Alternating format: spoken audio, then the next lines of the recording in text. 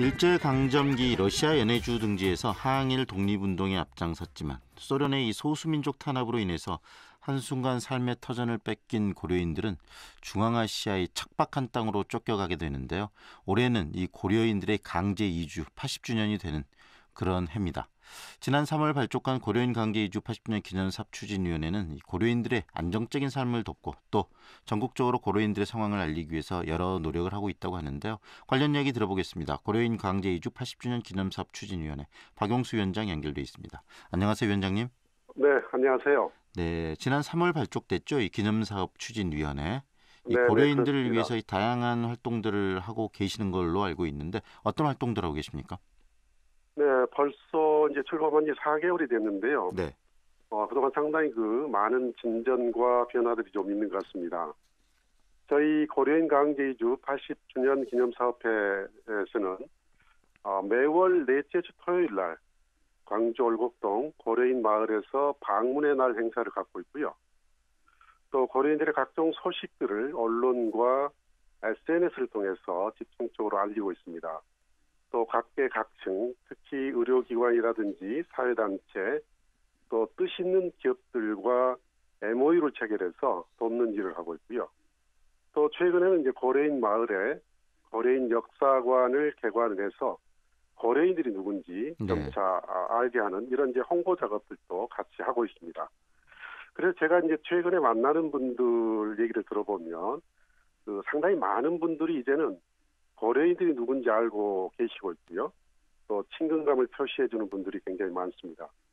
그래서 어, 이 자리를 빌어서 정말 고려인들에게 관심과 네. 또 사랑을 베풀어 주시는 많은 시민들께 감사 말씀을 드리고 싶네요. 네, 모두에서 이 고려인들 강제 이주가 80주년이 되는 해라 그 해라는 말씀을 이야기를 했는데요. 네네. 그렇다면 이 고려인들이 어떤 분이신지 다시 한번 우리 위원장님께서 짧게 정리를 좀 해주시죠.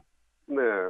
그 일제 시기에 중국의 연변 쪽으로 올라간 분들은 조선족이라 이렇게 말하고요. 네, 일제 탄압과 수탈을 피해서 어, 당시에 구소련의 연해주 블라디보스톡 쪽으로 올라간 분들은 고려인 이렇게 구분해서 얘기를 하고 있습니다. 네, 그리고 이제 80년 전에 스탈린에 의해서 1937년 9월 9일 불과 며칠 안 남았습니다만 어, 이영만리 중앙아시아로 화물 열차에 실려가지고 강제 이주됐던 그런 분들이죠. 네. 전부 다 대부분이 독립투사의 후손들입니다. 네. 네. 그런데 그분들이 지금 우리 한국 사회에서 적응하는데 여러 어려움들이 있는 거 아니겠습니까? 네, 그렇습니다. 네. 이 이분들이 갖는 근본적인 문제가 우리나라 국적을 회복할 수가 없는 상황이고요. 네. 또 여기 와도 영주권이 취득이 된다거나 또는 안정적인 취업을 보장을 받지 못하고 있습니다. 네. 그리고 이제 외국인 노동자들보다 훨씬 더 열악한 상황에서 현재 국내에서 불안한 생활을 유지하고 있고요.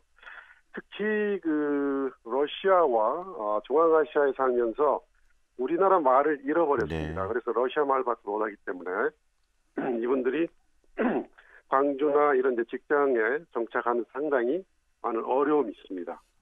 우리 동포고 또 우리 동포의 후손들인데 우리 국민으로 받아들여지지 못하고 있다는 것은 어떤 문제 때문에 그렇습니까? 제도적인 시스템 때문에 그런가요? 네네.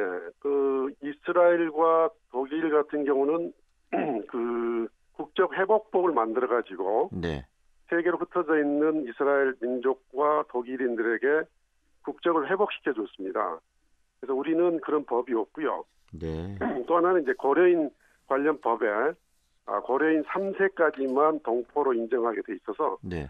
예, 고려인 4세, 5세들은 어, 부모들과 함께 한국에 왔다가 19세 성년이 됐을 때는 네. 다시 돌아가야 되는 그런 상황입니다. 부모들과 함께 어쩔 수 없이 생이별을 할 수밖에 없는 그런 경우들이 발생을 하겠네요. 어, 그렇습니다. 지금 생리별하는 고려인 4세, 5세들이 많아서 네. 이 문제가 굉장히 시급한 과제로 등장하고 있고요. 네. 어, 최근에 이제 새로운 정부 문재인 대통령과 청와대가 이 문제에서 깊은 관심을 갖고 어, 이 문제를 긍정적으로 검토하고 있습니다.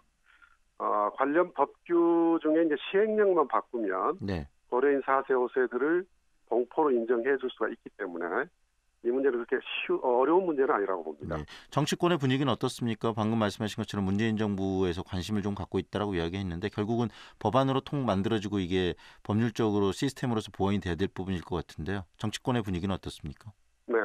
국회에 지금 김동철 의원과 김경애 의원이 고려인 특별지원법과 관련한 개정안을 발의해 놓고 있고요. 네. 현재 논의가 굉장히 활발합니다. 지난 21일에 국회에서 저희들이 가서 토론에 참석을 했습니다만 고려인의 법적 지위를 회복해주고 국내에 안정적으로 정착할 수 있고 있도록 해주고 또 종합적으로 지원하는 제도를 마련하는 아, 전문가 토론회를 연 바가 있고요.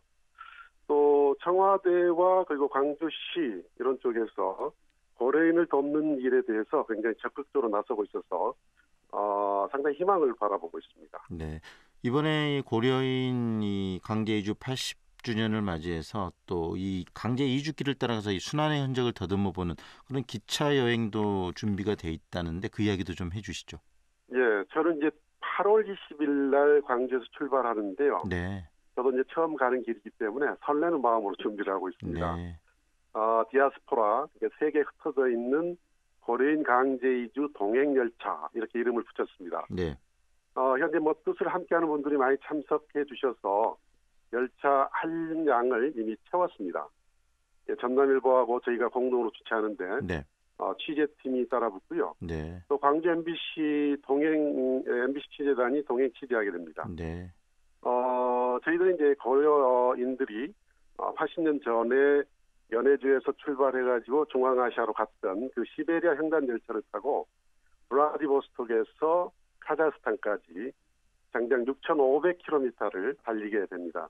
이 과정에서 이제 네네 네. 고려인들의 그 강제 이주 과정을 우리가 실제로 체험하고 고려인들이 어떤 아픔과 고통 속에서 중앙아시아에 정착했는지 네. 그걸 직접 느끼면서 고려인 문제를 아, 빨리 어, 더 기- 에, 에, 좋은 방법으로 해결하기 위해서 어, 이런 열차 아, 기획을 하고 있습니다. 네.